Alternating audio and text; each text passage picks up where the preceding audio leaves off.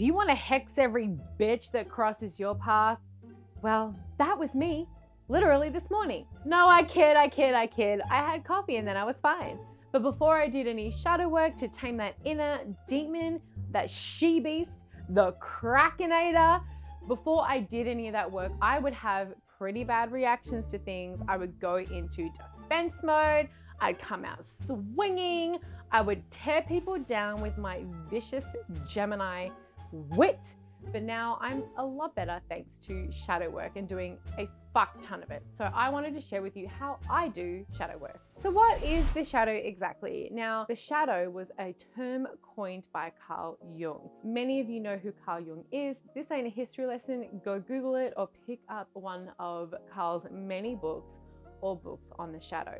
Basically, the shadow is those parts of ourselves that we would like to hide, whether we're hiding them from ourselves, we're not acknowledging that we are, in fact, that way, that we have those deep, dark thoughts, we have those desires that may be taboo or that we don't want to voice. They are the parts of ourselves that we're trying to hide from other people.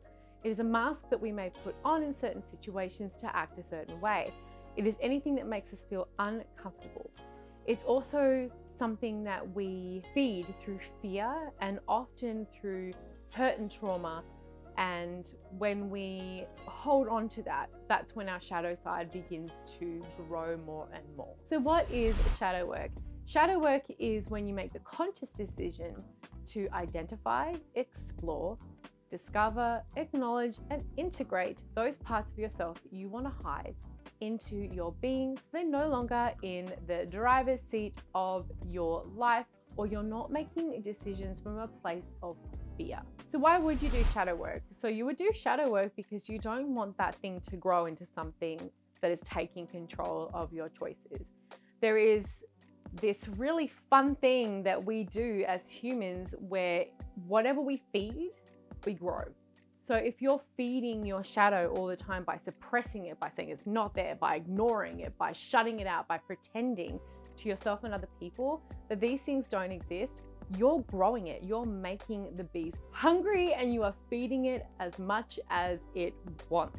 The other key phrase that I've heard through my shadow work that I really think sums it up is that you do shadow work so you don't bleed on the people who didn't cut you. It's a way to get rid of generational wounds. It's a way to make sure the next generation is not going to carry on a legacy of pain and trauma and really bad habits. So, how can you benefit from this sometimes really painful, hard, lifelong work? Well, it's about living in harmony and integrating yourself. So you are knowing yourself, you're being yourself, you're being authentic, and you are acknowledging the parts of yourself that you may not necessarily love, but it deserves love all the same. It's about accepting yourself and facilitating the healing processes throughout your life. One of the big things that I have found to be extremely useful with shadow work is breaking generational trauma, ancestral trauma, so that I'm breaking cycles that my past family has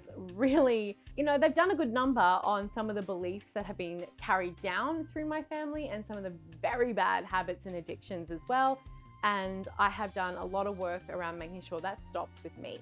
Shadow work can bring up some heavy, heavy stuff, and I do not recommend that you do this alone. I recommend that you work with a counselor or a therapist or a coach, especially one that is qualified and has experience with shadow work and that you start with something small and then you go from there. So here are the things that I have done and do regularly for my own shadow practice. The first thing I do for my shadow work is something that I've actually been doing since I was 11 years old, and that is journaling. I have got a huge storage box in my storage space full of journals that I've written in all the way through my life. There's travel journals, there's journals for everyday sort of musings. There's a lot of angst I'm not gonna lie, there's a lot of angst. There's a lot of angst and really wanting to be married to a Backstreet Boy in my high school ones. I'm just saying it's a bit cringe work to go and read it. Let's just say your priorities shift when you become a fully grown up adult. But journaling is one great way to get your mind out of this loop, uh, to get things off your chest uh, with no judgment. that You can just flow and you can write, you can journal, you can doodle, you can paint, you can do whatever you want to get it out. But this is the first step to learning how to do shadow work is to express yourself in a way that is comfortable. And you know what? You can even get these suckers with a lock and you can also just type one online, like find a journaling app online and use that. The second thing that I do on the regular for my shadow work is tarot readings. Now, duh.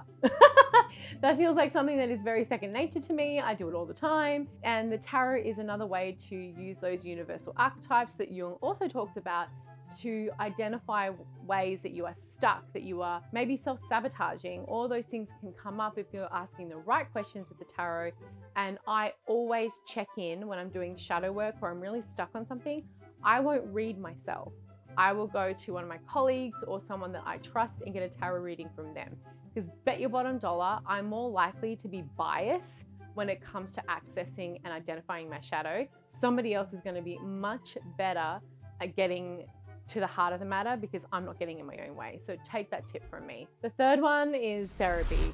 Yeah, done a lot of that, had a lot of therapists, done a lot of talking, and it has been really good. It's been extraordinarily life changing. I haven't loved all of my counselors or therapists. I've had a few, some of them because I changed, you know, moved country, but definitely it's been very, very helpful in having a safe space to talk, to kind of go through a few things and to get tools to help me through difficult situations or breaking cycles and identifying what's actually going on and what I could have the opportunity to change. But therapy, can't recommend it enough. The fourth one is one that I have got to say has confronted me on the daily more than anything else, and that is having a accountability partner. One of my accountability partners is my sister. She a Capricorn and let's say she's about as subtle as a sledgehammer. So if I'm doing something that is a reaction to trauma or something that is something we've been programmed through childhood, um, things that come from that shadow side, the side that I kind of find ugly, I'm to get called out on it. And I remember this wasn't my sister, but a elder in the uh, high priestess in the pagan community. I did something a little bit bitchy. Me never. I'm an angel. In a Facebook group to somebody else, and she literally texted me the second I posted it on the Facebook group. She's like, Ethony, take it down. You know what you did. And I was like, oh, being called out. But like, I was like, yeah, you're right. Like, I didn't fight with her. I was like, yeah, you're right. I was being a bitch. Like, having someone who's an accountability partner is great. But having an accountability partner is something that you should try and get once you've got some tools to work through your shadow stuff.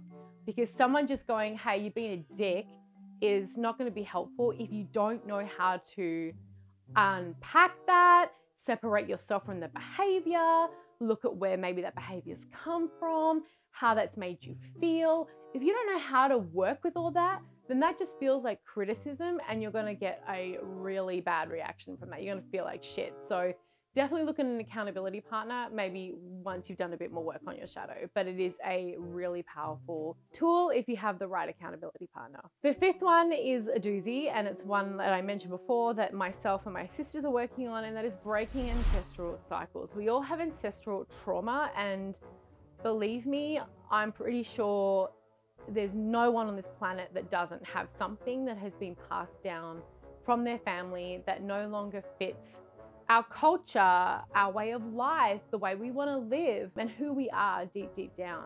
And my ancestral trauma, my ancestral cycles are going to be completely different to somebody else's. It's not about, oh my God, my shadow is like so much more bigger than yours. It's about what you need to heal and that I've done through some therapy, through talking very openly with my family, calling out my family, all those things of no longer sweeping things under the rug and accepting them for the way they were or how it was has been a big game changer. Again, something that I would recommend to do once you've done a little bit more shadow work and you've got some tools to help you kind of process that. Six is reading. Uh, I know that's going to be like, oh crap, I hate homework, but I love reading, and this is a really wonderful book. It's called Meeting the Shadow, and I completely recommend it. Now, there's even a quote on the back here from Jung One does not become enlightened by imagining figures of light, but by making the darkness conscious.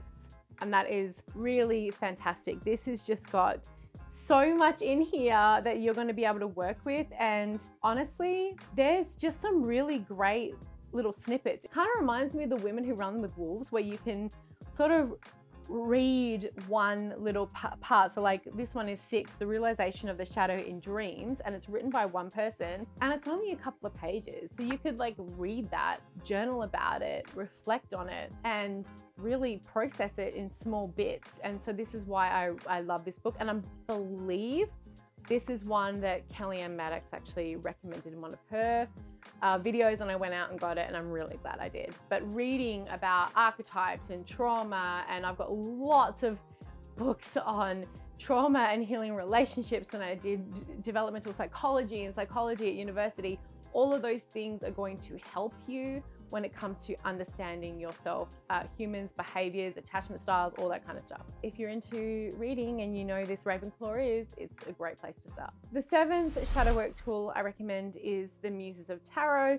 And yes, this is a plug, but also because this deck and book is meant to be used as a practical way of accessing light and shadow in different archetypes and aspects of our lives. So You've got the muse of money. And let me tell you, the muse money, lux of fortune and prosperity and wealth. Who doesn't have something around the shadow when it comes to that? Who hasn't had a negative experience with money? Who hasn't had a negative experience with capitalism? So, all those things can be accessed, worked with, worked through with the muses of tarot. And that's for every single one of the 13 divine muses. So this is a workbook and a deck that's going to help you work through a lot of shadow stuff. And last but not least, and certainly one that I recommend, is Benebell Wen's Tarot Shadow Work course. This is just the workbook. Yeah, just the workbook. It massive. I use the Spirit Keepers Tarot for this and a Rider Waite Smith. I will pop a link below where you can go and support her and get this, this uh, course. It's amazing. so if you want to do some big old shadow work, go and grab this course. It's going to lead you through um, all of it through Benebell's lens and through the tarot. And you know, those are two things that I love. love shadow work, love tarot, love Benebell. It's fantastic. There's also video content as well, so it's not just a workbook. How do you integrate your shadow and what shadow work do you do? Let me know in the comments below. Thank you so much for watching. Hit that like button, share with your shadow love friends, and I'll see you all next time.